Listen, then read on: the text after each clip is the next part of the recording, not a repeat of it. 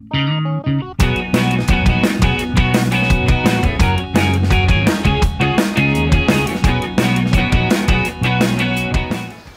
und herzlich willkommen, liebe Zuschauer von German Junior TV.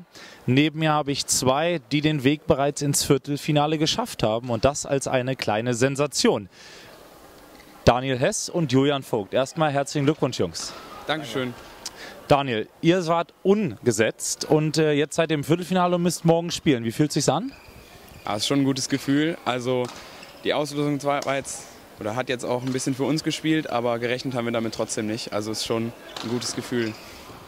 Sowohl eure erste Runde als auch das Spiel gerade eben gegen die an vier gesetzten Engländer war sehr souverän. Zwei Sätze, einer immer relativ hoch. Gibt es was, worauf ihr besonders stolz seid, wo ihr sagt, ja, das hat richtig gut geklappt heute?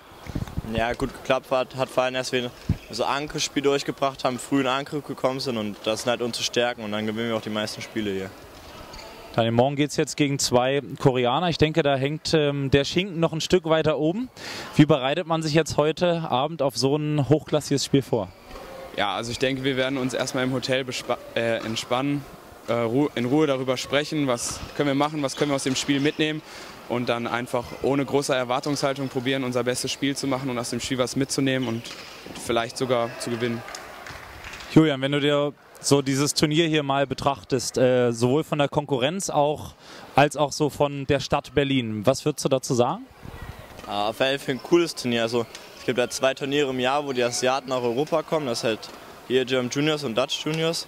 Und ja, natürlich freut man sich dann, wenn man gegen Asiaten spielen kann und sein bestes Spiel macht, auch mal gewinnt gegen die. Und ja, auf alle Fälle cool. Letzte Frage. Ähm, die nächsten Wochen, ich meine, so ein, so ein Wochenende schlaucht und geht mal vorbei, aber wie sehen die nächsten Wochen so bei euch aus? Ja, also erstmal werden wir jetzt wohl normal wieder ins Training hier nach einsteigen, bis, dann, bis wir dann so in zwei Wochen zur Schul-WM nach Malta fahren, wo wir dann halt auch mit Sicherheit den einen oder anderen Asiaten wieder treffen werden. Ja. Ja, das hört sich doch gut an.